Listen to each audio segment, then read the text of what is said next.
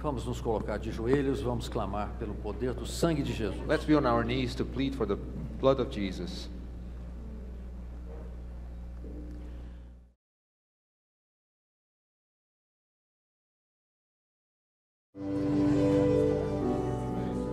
Meus irmãos, essa aula agora será uma transmissão de um vídeo que recebemos.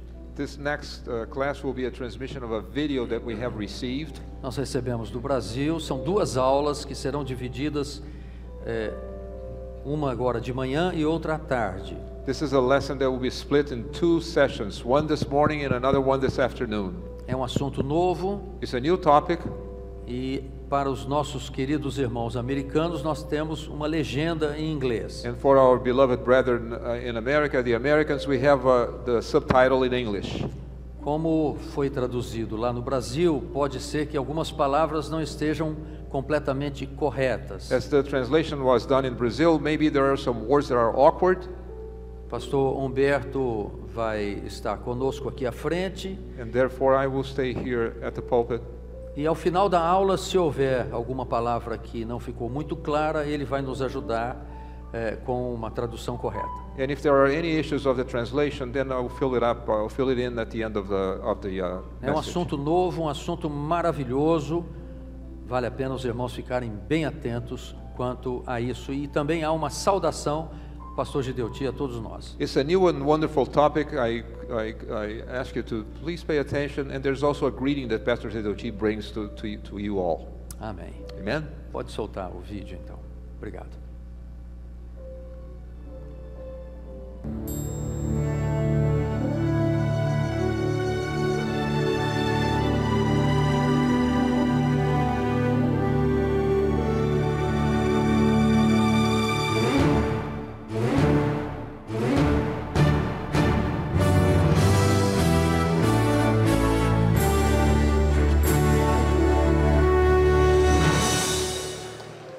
Paz do Senhor, nós estamos falando para os irmãos, especialmente essa aula está sendo dirigida aos irmãos um seminário nos Estados Unidos. E esse seminário está sendo processado em Orlando e também para um grupo de, na cidade de Boston. Portanto, a nossa saudação já foi feita aqui inicialmente aos pastores de lá e aos irmãos daquelas igrejas ali. E agradecemos a Deus pelo crescimento e pela prosperidade que Deus tem dado à obra ali nos Estados Unidos e também no mundo. Louvado seja o nome do Senhor. Hoje, a nossa última aula da manhã será sobre a vida no Verbo. Os irmãos vão nos acompanhar aqui no painel. Não há o porquê errar. Nós vamos mostrar que o pastor tem falado, palavra viva, palavra da vida. E o verbo se fez carne, e o verbo era Deus. No princípio era o verbo. Então nós vamos ver que verbo é esse.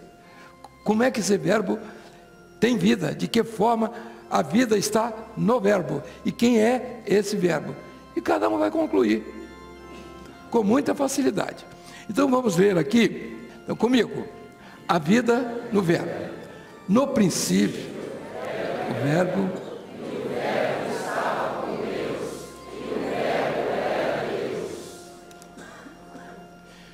Deus transmite a sua sabedoria. Deus transmite a sua palavra. Então, sabedoria é a palavra de Deus. A palavra de Deus para nós é a sabedoria do Espírito Santo. Então, nessa introdução, nós temos que entender que existe uma palavra criadora e existe uma palavra redentora. Na palavra criadora, tudo fica. No princípio criou Deus os céus e a terra. Então a palavra é o recite, é do hebraico.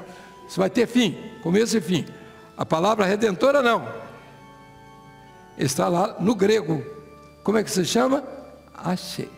É a palavra no grego para dizer que é uma palavra eterna. A primeira vai ter fim. Quando terminar todas as coisas. O universo tem princípio e tem fim. O homem tem princípio e tem fim. A eternidade não. De eternidade a eternidade, tu és Deus. Vamos saber o verbo aqui. Vamos lá o verbo. Vamos ler comigo. O verbo, no princípio, narra toda a história da salvação. Está definido. Então, é a palavra, esse verbo é a palavra que Deus dirige a quem? Ao mundo. Aí vamos, nós vamos encontrar uma palavra lá no original, assim, no princípio era o Logos. Não, quando essa palavra está lá no Evangelho de João, é porque naturalmente a influência naquele tempo, naquele momento, era dos gregos, é da filosofia. Então, o Logos filosófico não é o Logos de Deus. Então, na sabedoria grega, se via o Logos como um elemento impessoal de uma verdade eterna. Era uma verdade eterna, mas não havia pessoalidade. Quer dizer, quem é o Logos? Os filósofos não sabiam quem era o Logos, mas nós sabemos. Porque quem é o Logos? É o Verbo. Então, no princípio era o Logos, o Verbo. Entendeu? O início de todas as coisas.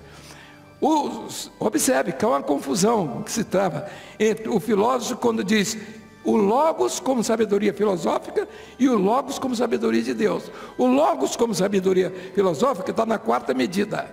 E o Logos como sabedoria de Deus está na quinta medida. Vamos lá.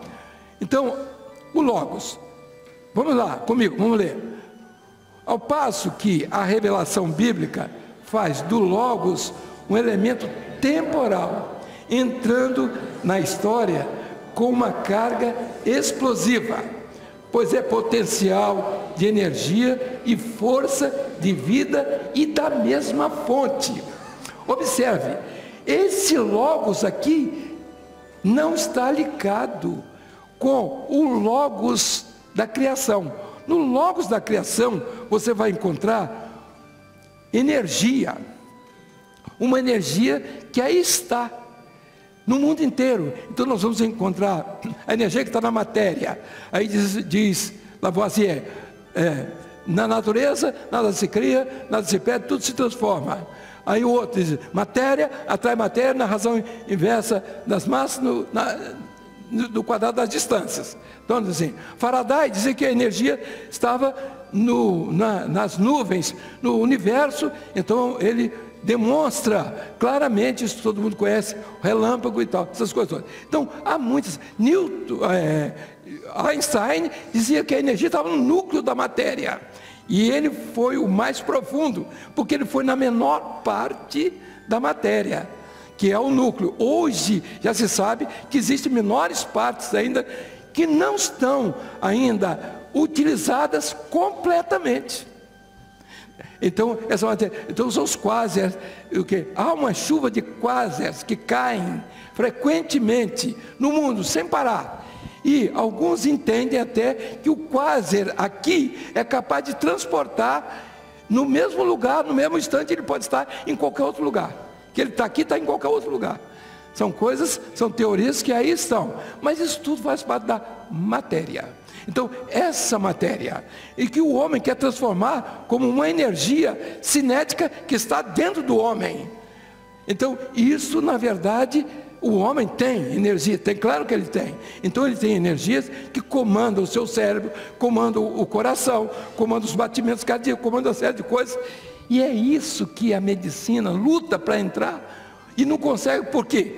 Ela tem um cérebro complicadíssimo que ela não sabe ainda o que se passa, porque, na verdade, quando você botou a mão aqui e sentiu que isso aqui está quente, vem, são sinais que são enviados ao cérebro por correntes chamadas aferentes. E o cérebro joga de volta para que a mão tire. Então, ele age de forma agora mecânica. Ele tirou a mão. Uma coisa é a sensibilidade, a outra coisa, então, já é a diferença que existe entre uma coisa e outra. Então, isso é uma energia.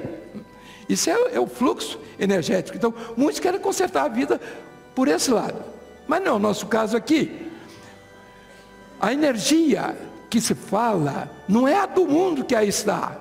Essa que nós estamos falando não está relacionada com essa energia que o mundo fala. A nossa está ligada com uma energia, que é uma palavra que está no original no grego. É a única palavra que não está relacionada com a energia que está que domina o mundo, nem os homens. É uma energia que vem da eternidade. Então, quando Paulo fala nisso, ele está falando uma eficácia do poder de Deus na vida do homem que leva o homem à ressurreição, que levou Jesus à ressurreição. Então, é algo que não é do homem. Vamos continuar. Nós estamos falando no verbo que no fundo é a sabedoria de Deus, que é o Logos, que é o início de todas as coisas, que converge para a palavra. Aí tem aquele companheiro que dá aquela aula muito bem dada sobre palavra da vida e palavra viva. Então vamos lá, a palavra agora. Estou lá em verde, lá em cima. E o modo, é o, o que é a palavra? É o modo, lê comigo, essencial da intervenção de Deus no mundo. Pela sua palavra, Deus criou o céu e a terra. Pela fé, agora, entendemos que os mundos, pela palavra de Deus, foram criados. E nesse caso, Hebreus capítulo 11, verso 3. E a ação do Verbo no princípio de tudo age agora como substância. Então não é matéria.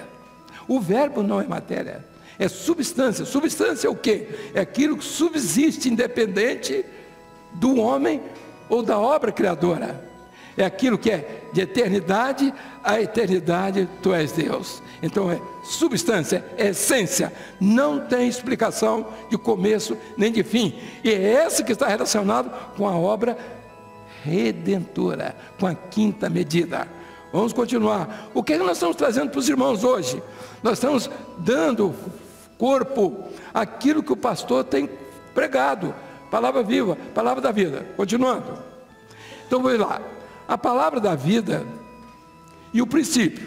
Então, vamos lá, lê comigo. A palavra entra na história com uma carga explosiva, pois é potencial de energia e força de vida. Isso é a palavra.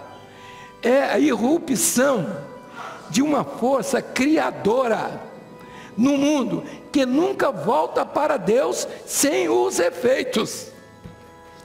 A física clássica, moderna e até a quântica tenta explicar o fenômeno e não consegue, porque ela vem da eternidade. É uma vida que não tem explicação. Pronto? Vamos continuar? Então a palavra da vida e o princípio. Vamos ver. Palavra da vida e o princípio. Vamos lá. Deus opera falando e fala operando. Quando no princípio estava o quê?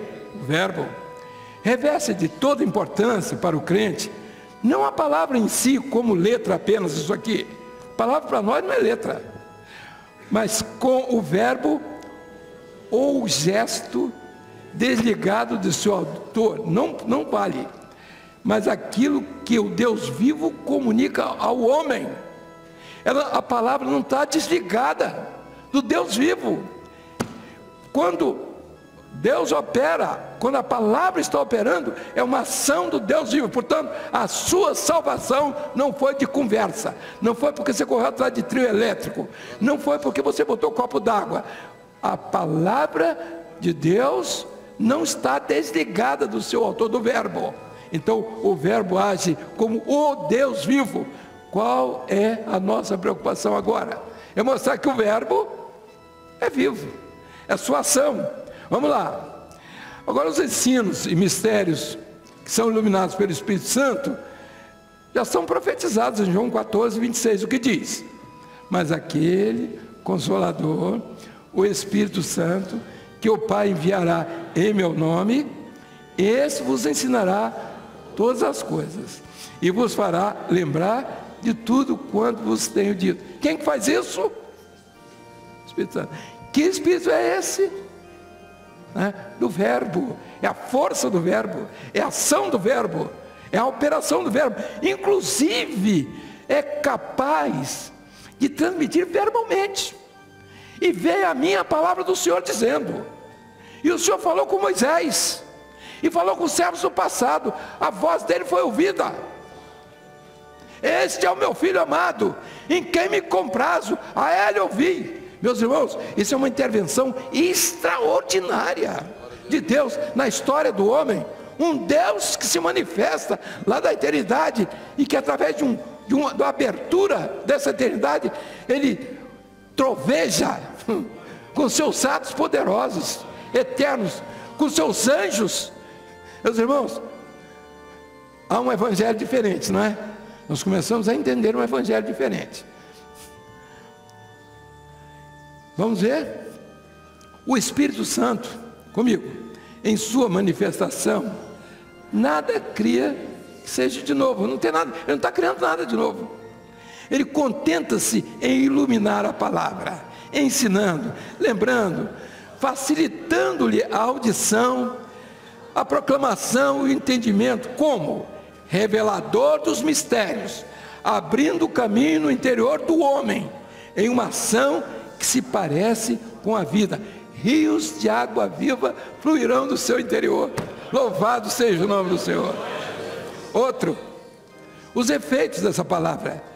Deus fala e o efeito surge, suscita a vida mediante seu verbo soberano, ordena o caos e ao caos. É uma palavra que nunca está longe do evento. O que está acontecendo, a palavra está próxima, está encostada. O evento está dentro da palavra. O que está acontecendo está dentro da palavra. É o evento. É a salvação. Ela entrou na sua vida. Foi o evento. Palavra. Portanto, é a palavra que dá origem a toda a criação. Nós estamos aí reforçando. Falou e foi feito. E disse Deus: haja luz e houve luz. O verbo é iluminado. Os irmãos estão observando onde nós estamos? Nossa preocupação é sobre o verbo, que é a palavra de Deus, é a sabedoria de Deus, é a luz de Deus, é a salvação, é o verbo, é Jesus, é o Evangelho, é a graça, é a fé. São tantos elementos que completam essa ação poderosa do Deus vivo. O verbo iluminado, comigo. A palavra de Deus é o que diz o profeta: Vê a mim, que é uma expressão frequente, e vê a mim a palavra do Senhor dizendo. Está entendendo? O verbo, no caso, é frequente em todas as manifestações divinas. Deus não se manifesta sem o verbo. O Espírito Santo ilumina toda a palavra. Que palavra? Sabedoria. Sabedoria, além da criação que já está estabelecida. Ele não precisa mais falar sobre a criação, porque a criação já está estabelecida. A palavra da sua glória. Vamos lá. Através desta história iluminada e circunstanciada mediante o verbo oral, é-nos dado receber a palavra. Vamos parar um pouquinho aqui. É um pouco difícil entender isso, né? Então vamos repetir. Através, comigo, dessa história iluminada e circunstanciada, mediante o verbo, quem ilumina esta palavra iluminada, circunstanciada, quem faz isso? É o verbo, é o verbo oral que nos dá receber essa palavra, nos dá vê-la, contemplá-la como ouvi-la.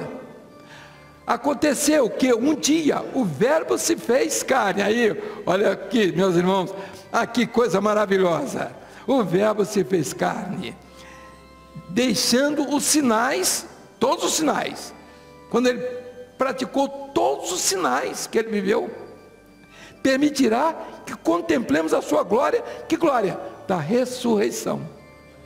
Os sinais ficaram para trás, agora é a glória da sua ressurreição. Por isso que estamos no livro do Apocalipse, viu? Você que não gosta do Apocalipse, nem da escola dominical bíblica, você está perdendo um caminho. O rumo da sua vida para esse tempo. Está perdendo. Está perdendo uma grande orientação para o seu caminho. Então a palavra da ressurreição, vamos lá? A palavra de Deus comigo, além de criar vozes e locuções, suscita formas, sinais e eventos que criam e agem na história da redenção que são além dos limites da criação. Meus irmãos, uma cura, uma operação de maravilhas, ela vai além de vozes, ela vai suscitar formas e sinais. Nós estamos vendo sinais em todos os lugares, em todas as épocas, em nossas vidas. Isso tem que ser entendido. Senão você vai começar, toda igreja é igual, o Deus é o mesmo todo. Não é assim não, hein? Não é assim não. A palavra de graça é verdade. Vamos lá, comigo. E o verbo se fez carne e habitou entre nós. E vimos a sua glória como a glória do unigênito do Pai, cheio de graça e de verdade. Louvado seja o nome do Senhor. Aleluias. A palavra e todas as ações do verbo que suscitam a vida. Quais são? Palavras, a palavra e todas as ações do verbo. Estão falando sobre o verbo. Estão colocando a palavra. E a, o que acontece com essa palavra suscitada no verbo? Ela produz o que? A vida. Comigo agora. Deus fala e o efeito surge por sua palavra. Cria o mundo, tira do nada todos os seres e as coisas, suscitando a vida mediante seu verbo soberano, que engloba todas as ações decorrentes na sua palavra viva. Meus irmãos, a coisa mais bonita, no princípio criou Deus os céus da terra, e criou isso, e criou os luzeiros, e criou o mar, e criou os animais, e criou os seres viventes. Meus irmãos, que coisa extraordinária. Esse, essa é a palavra que nós cremos nela, nós cremos nela, não é porque existe uma poesia nela, não é porque alguém escreveu e gostou do que escreveu, mas que é uma palavra viva. Esse é o entendimento que nós temos, está sendo dada. Então, os fundamentos e fenômenos que estão ocultos no verbo, que estão na palavra. Então, o que é que existe de oculto no verbo? O verbo, dentro dele, existe uma substância invisível que é a fé. A fé que é transmitida. É como a luz elétrica ela passa pela corrente. É como você fala aqui no telefone e o outro está do outro lado, está ouvindo. É algo que ninguém está vendo. O, a palavra está passando pelo ar. A sua voz está indo embora. Interessante. Tudo que você fala, tudo que entra pela palavra ou que sai, faz parte desse mundo criador. Nada, nada se perde. Então veja aqui, tudo isso é transformado em energia. Há um mundo, meus irmãos, esse mundo da obra criadora, ele vive debaixo de um conjunto energético de elementos e substâncias que dão o equilíbrio à vida. Vamos deixar esse lado, vamos voltar aqui, que é o mais importante, porque a vida, estou falando na quarta medida, e eu quero que os irmãos entendam que esse verbo, ele está além da quarta medida. Os fundamentos então são aí: substância invisível da fé que fundamenta os fenômenos ocultos da palavra. Se você não tiver revelação, não há fundamento oculto nenhum. É letra. Acabou. Você pode viver da letra? Pode, está vivendo da letra, ótimo, não tem problema. Mas é isso que você quer? Não, você quer entrar nos meandros da fé. Então nós vamos ver. Primeiro, inspiração. Comigo. Toda palavra de Deus escrita por homens, foi inspirada pelo Espírito Santo. Aí diz lá o texto de 1, 2 Timóteo 3,16, o que é que diz? Toda escritura é divinamente inspirada. Segundo, o que você quer? Revelação. É a descoberta de um conteúdo histórico em um texto. É uma palavra ou verso onde se esconde o profético. A beleza não está na palavra lida, letra, está no que está escondido, que é o profético, que é o que leva o homem à quinta medida e tira da quinta medida. Vamos lá. Terceiro, os fundamentos dos fenômenos ocultos do verbo que estão na palavra. Terceiro, primeiro, segundo, agora o terceiro, é o profético. O que é o profético? É todo projeto ou mistério que vem da eternidade, onde a vontade de Deus se manifesta, revelação através, e para nós é através da fé, que nós chamamos fé, que é a operação do Espírito Santo. Você tem tanto do Espírito Santo, você tem de fé. Você tem tanto de fé quanto tem do Espírito Santo dirigindo a sua vida. É muito diferente, não é não? Então o outro é a luz, luz ou revelação. São elementos que norteiam a exegese na história da fé. Existe uma exegese de uma história da palavra, do homem. Aí você pergunta, é bom? É bom. Você quer conhecer Bíblia, história de Bíblia, é ótimo. Ensina a criança isso. Então vamos aqui. Deus, agora, os resultados suscitados pela vida no verbo, na palavra. O que é que acontece? Deus fala, o efeito surge por sua palavra. Cria o mundo, tira do nada todas as coisas, suscita a vida mediante seu verbo soberano, ordena o caos. No princípio, criou Deus os céus e a terra. Então a fé é substância invisível. Define a vida no verbo. A sua vida está na fé que você tem definida pelo Verbo. Qual é a fé definida pelo Verbo? Fala da sua ressurreição, fala da, seu, fala da sua glorificação, fala da vida eterna, fala da sua salvação, fala do Cordeiro, fala do sangue. Isso aí. Então vamos lá, comigo. Pela fé, entendemos que os mundos, pela palavra de Deus, foram criadas, de maneira que aquilo que você vê não foi feito do que é aparente. Então, Deus não fez o mundo com essa madeira, nem com a substância que está em você, com selênio, com ferro, com tudo que você tem, com cobre, que é a matéria aqui. Deus não fez esse mundo disso. Deus fez de coisas invisíveis. Por, por que, que ele fez? Porque ele domina as invisíveis e as visíveis também. Então veja aqui, aquilo que o mundo, aquilo que Darwin não sabia, era isso que estava lá. Ele não sabia. Que Deus não fez. Aí ele, ele não, o bico do periquito não é igual ao do papagaio. O do papagaio mudou por causa disso aqui. Não, a rã, ela vivia nessa poça e ela, né? e o outro tipo é outro, porque é outro lugar, o clima é outro. Assim, meus irmãos, nós vamos parar aqui. Olha, meus irmãos, nós estamos produzindo isso aqui. Primeiro livro que vai ser publicado. Sabe para quem é a dedicação? Eu dedico aqui a minha querida esposa, que ela, tá, ela merece, mas eu não dedico para ela. Sabe por quê? Porque revelação não é minha, nem dela. Entendeu? Revelação é um dom de Deus, uma graça de Deus. Eu não tenho que dedicar nem à sogra, nem a ninguém. Compreendeu? Então aqui não, não vai ter dedicação, dedicatória. Mas aqui vai ter um grupo de irmãos que tem estado com os professores de seminário, que são participantes disso que aqui está. E não vou dar não, vou vender. Eu estou precisando de um trocadozinho. Mas agora vamos completar 50 anos e nós vamos começar as primeiras publicações, que a partir de fevereiro vão estar à disposição dos irmãos. Esse aí não está à disposição dos irmãos. Entendeu? Mas o dinheiro não vai vir também para mim. Também se viesse não tinha nada demais, ninguém tem nada com isso. Não é? Mas veja só, quem sabe eu posso até precisar.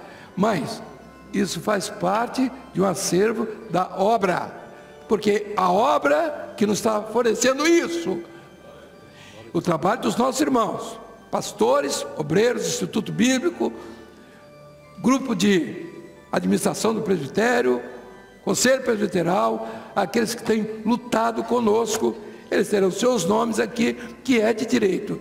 E o meu nome vai estar, evidentemente, que quem quiser fazer uma contestação pode fazer. E eu estou pronto para receber qualquer contestação, inclusive para aprender. Atrás, aqui, já estou começando a fazer a propaganda. Olha, irmãos, aqui, olha aqui, você bota só aqui o seu nome, seu endereço, é prestadora, não sei o quê, ok, tem disso não, tá? Vocês vão até correr aqui para comprar. Não agora, porque não está pronto. Quem quiser, esse aqui é o primeiro. Quem quiser ficar com esse, nós vamos fazer um leilão. Vamos ficar de pé.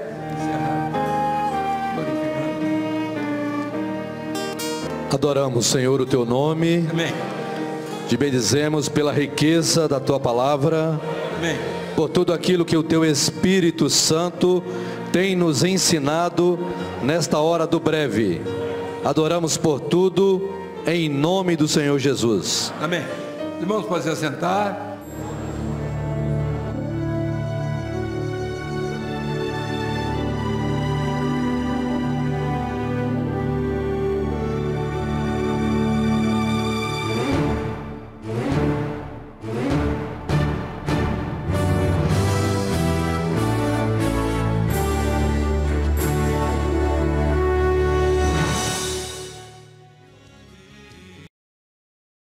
But that's, that's all I have to say. Trans- tra- trans- A tradução está muito boa. Está tá muito boa, sim. 10 minutos de intervalo. 10 minutes until the next class. Peace of the Lord be with you.